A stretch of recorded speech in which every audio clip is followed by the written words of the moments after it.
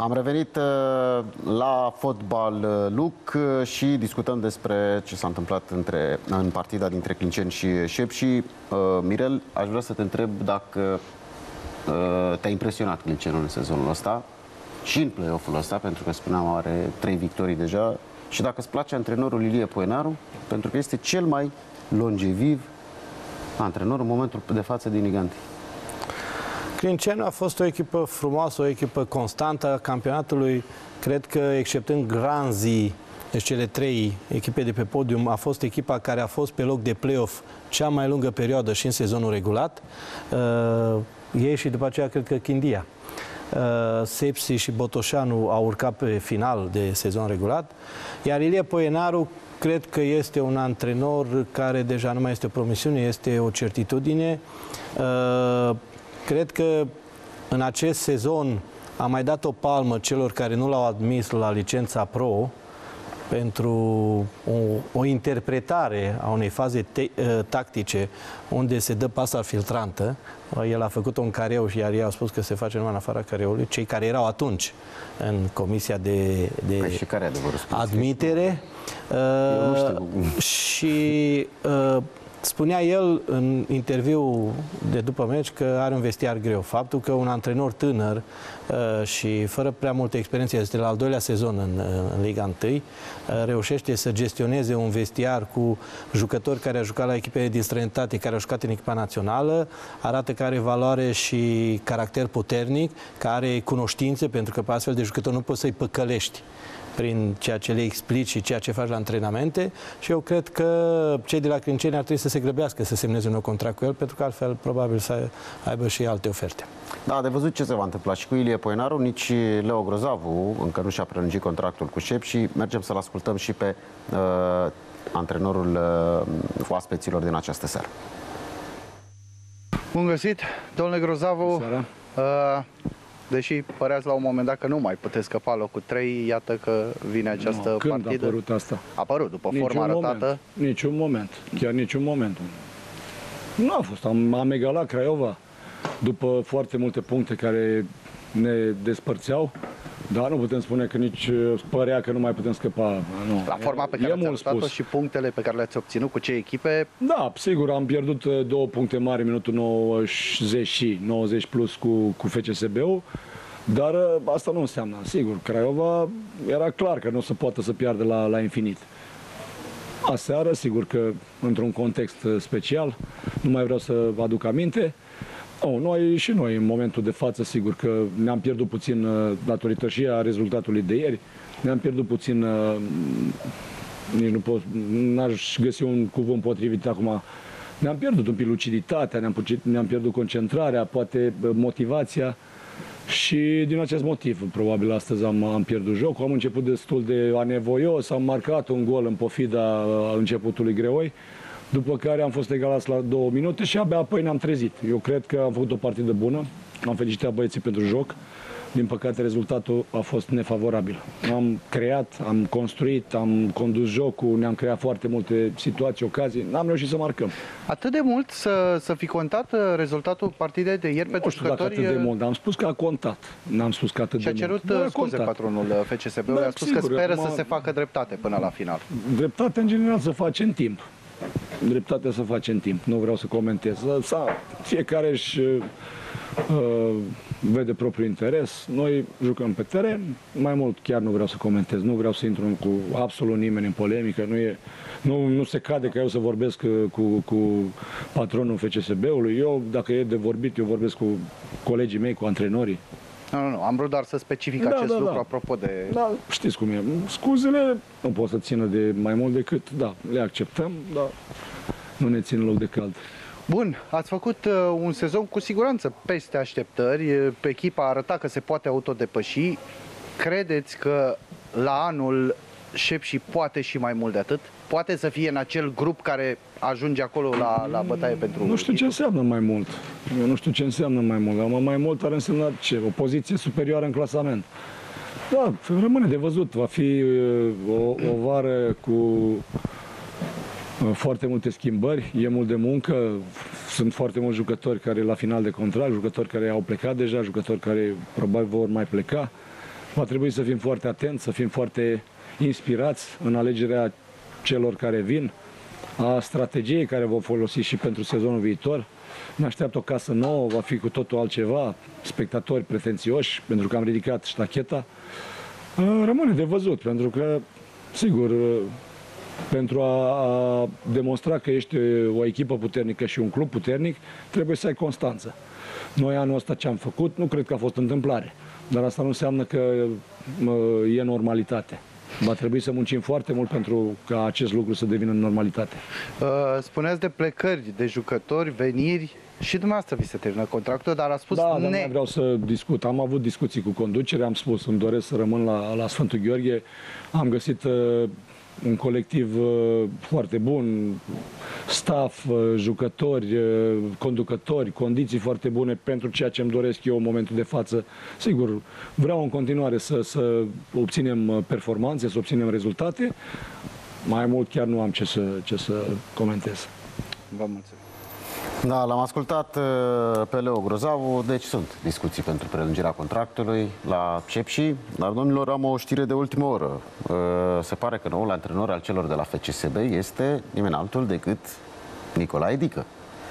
Uh, Am să vă citesc uh, ceva ce ne-a trimis uh, colegul nostru Cristi Jacodi. Uh, E o declarație a lui Gigi Becali. La ora asta îl am în față pe antrenor, dar nu vă spun vouă. După ce îl pun antrenor, promit că nu voi mai vorbi. În schimb, din nou număr. Nu mă mai bag. Da. Spune Gigi Becali. Am să vedem până când. Că mai e și asta, nu o... E bine, oricum e vacanța, nu se mai bagă. Când începe campionatul. Da, știți că la FCSB se vede bine, dar se vede imediat dacă se bagă sau nu. Când se fac schimbările, că atunci se... Da, nu, bine, acum noi știm, nu, da? Că el tot timpul a declarat că antrenorul antrenează și el face echipa, nu. Acum, dacă asta spune, s-a declarat de mai multe ori, nu știu dacă se poate schimba și că toți antrenorii care vin, nu s-a spus și de Dan Petrescu că nu a acceptat acest lucru. Cristi, ți se pare o alegere? Și asta Dacă e mi-e adevărat, că noi vorbim numai cu Dacă acum. De asta nici nu vreau să comentez. Nu, Dacă acum, e o sincer, alegere dar ți bună s-ar sau părea nu. Dica a mai potrivit? fost, Da. cunoaște clubul FCSB-ului, îl cunoaște stafful, cunoaște oamenii de acolo, ar fi mult mai ușor să se adapteze cu, cu condițiile actuale decât orice alt antrenor care ar veni și nu cunoaște ce se întâmplă acolo. Dacă e așa, eu îi doresc baftă. Mă cunosc cu Nicolae, un, un antrenor preocupat, uh, uh, chiar uh, ar fi o alegere bună dacă s-ar schimba anumite lucruri și d- dacă domnul Beca îi spune că nu se mai bagă sau îl ajută să uh, nu știu, să, să fie într- pe un, pe un drum foarte bun, ar fi extraordinar. Ți se pare un progres pentru Dică Mirel? Dacă, ce spuneau și colegii de platou, dacă se schimbă ceva în strategia FCSB-ului, da, eu cred că Nicolae Dică în acest moment este mult mai experimentat decât uh, în momentul când a fost prima dată pe banca FCSB-ului, s-a călit în diviziile inferioare, a fost la FC Argeș, să fii secundul echipei naționale, de asemenea îți conferă uh, posibilitatea să crești ca și antrenor și ca și experiență. Dacă e lăsat să-și facă meseria, și eu cred că este potrivit pentru că este stelist, a jucat acolo, a antrenat acolo, cunoaște tot ce înseamnă clubul și tradiția uh, care este la FCSB. Da, cred că este o alegere bună, depinde de condițiile de muncă create.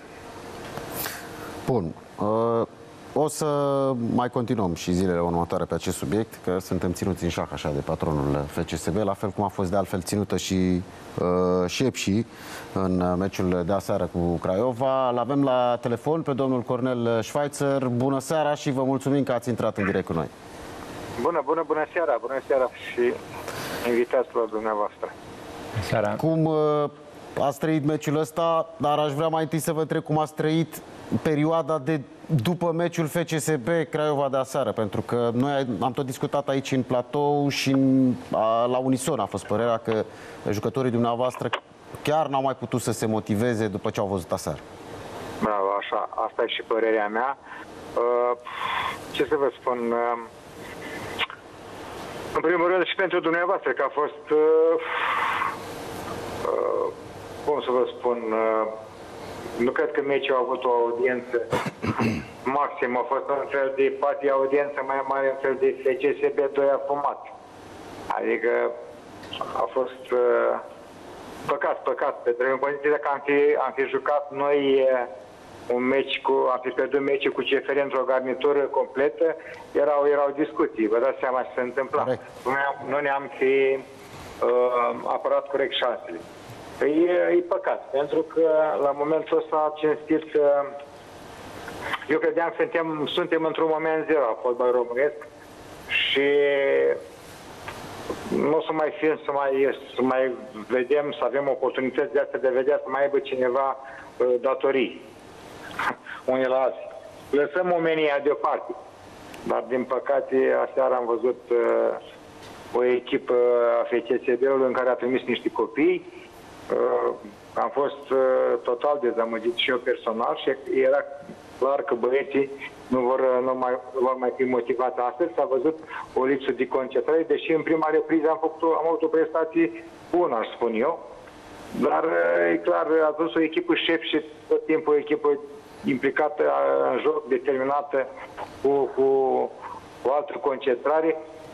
Dar s-a văzut în jocul ăsta de astăzi de la Călăraș, uh, băieții n-au mai fost la fel de capacitate și concentrați. Acum nu mi rămâne decât uh, următorul joc cu cei de la Botoșani, să facem un joc bun, un joc care să ne dea speranțe pentru ultimul joc uh, în sperăm să fie în calificarea Europa League pentru că depindem de Craiova. Vom fi susținătorii Craiovei în uh, câștigarea trofeului să mai avem și noi o șansă în plus de a, de a juca în Europa. În baraj. Un baraj. un baraj, da. baraj Deci- deci, de, deci- am zis, Da, am o zis șansă, că da, să aveți fim drept. capacitați la ultimul joc. De baraj. Ăla e. Nu știm, vom juca cu viitorul, vom juca cu, cu cei de la Târgoviște care au condus în, în, în, în play-out-ul ăsta, a fost echipa care s-a desprins și a arătat, a avut de fapt o prestație bună. Vedeți și aici de discutat pe tema asta, pentru că nici noi la adunarea generală, toți colegii din Liga 1 n-am fost uh, suficient de, de atenți, de lucizi, pentru că uh, putea fi Craiova să joace, dar nu mai e cazul la momentul ăsta, că ei vor juca barajul pentru Europa în uh, poziția de locul 3 în condițiile care nu va câștiga Corect. trofeul Cupa României. Uh, Are o oportunitate ca echipa de pe locul nou să prindă o zi mai bună, era gaz metan, Dinamo sau viitorul și să ne reprezinte în Europa League. Nu mi se pare normal. Dacă am fi avut un coeficient uh, UEFA mai, uh, mai mare și aveam uh, locul 3-4 uh, calificate pentru Europa League, eu știu, poziția 5 uh, putea să susțină un baraj cu ocupanta locului 1 din, uh, din uh, play-out. Domnule Noi președinte, dorim, uh, de vrea fapt, și Cristi Dulca să vă întrebe ceva, trebuie să luăm Da, publicitate da, și vreau să apuce să vă întrebe ce... Da, nu, foarte scurt, Cornel. Felicitări pentru, pentru Mulțumesc. modul în care ați gestionat uh, clubul, echipa și rezultatele pe care le-ați făcut. Uh, o, muncă foarte, o muncă foarte bună într-un campionat uh, mult mai greu față de alte campionate. Da, ai fost antrenor, știi foarte bine, nu e ușor să motivezi jucătorii. Sunt antrenor, A- dar am schimbat, am schimbat sexul. Pardon, pardon, da. da. Îmi cer scuze. Uh, Sunt, uh, sunt un pic și eu, am fost la băieți, am, uh, i-am încurajat, am fost în vestiar pentru că mai avem două jocuri și, și trebuie să fim uh, ultimul joc din, uh, din play-out cu cei de la Botoșan să, să vedem cum gestionăm uh, meciul, pe care meciul de baraj. Sperăm Oricum, că- jos pălăria pentru ce, ce ați Sperăm făcut. să avem parte, de, de fapt, sperăm să avem parte de meciul de baraj, pentru că Craiova trebuie să câștige Cupa României, trofeu. Corect. Pe- Mulțumim frumos. uh, mă, Ok, ok, eu zic că meritam poziția numărul 4 pentru că am condus detașat atât în sezonul regular cât și în, în play-out. Da, semnează Leo prelungirea, Leo Grozavu, se tot am vorbește. discutat cu Leo, am discutat chiar uh, luni, după meciul cu cei de la FCSB. Am pus uh, câteva lucruri pe, pe hârtie, rămânea să, să mai discutăm. Deci nu se pune să- problema de Dan Petrescu la șep și așa cum s-a vehiculat. Că acum... Nu, no, dar știți că eu am fost uh, atunci am fost foarte deschis și v-am spus că n-a fost nicio discuție pe tema asta, la nivel de, de club. Au fost doar uh, speculații. Da, Uh, Știți foarte bine informațiile când uh, ne întrebați ceva, suntem foarte deschiși și tocmai de-aia ne și drept. permitem să vă sunăm. uh, Cote. la, la orice oră și când v-am spus ceva din... uh, uh, V-am spus, uh, din, am fost sincer și v-am spus din tot sufletul. Atât eu cât și domnul Dioseghi sau Hadnaghi. Deci uh, suntem oamenii care decidem acolo și uh, comunicăm în primul rând. Da, și decideți destul de bine, așa cum spunea și Cristi. Vă mulțumim frumos, domnule președinte, Cu seară pentru această... plăcută și emisiune plăcută în continuare. Mulțumim, seara bună. Uh, Da, domnule Sabău, Șepși, candidată la Cupa Europeană în sezonul următor, clar, nu? Dacă nu cumva chiar mai mult. Da, da dar uh, cred că um, Leo are nevoie de câțiva jucători importanți. I-am zis undeva la 4-5 jucători peste ce înseamnă valoarea acestor jucători. Dacă și aduce, cu pregătirea care o face, seriozitatea lui, a lui Grozavu, clubul, uh, stabilitate financiară, eu cred că se pot lupta de la egal la egal. Sigur, a fost o surpriză, adică ei au rea- realizat mai mult decât uh, probabil și-au propus.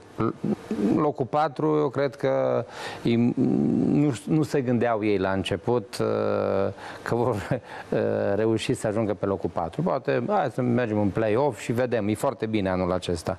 Să nu ne facem de râs. Au reușit uh, un rezultat extraordinar din punctul meu de vedere și uh, cred că la anul deja au prins mai mult curaj, maturitate, experiență și vor aborda diferit uh, campionatul. Trebuie să luăm încă o scurtă pauză de publicitate. Revenim cu ultima parte a emisiunii. Rămâneți cu noi.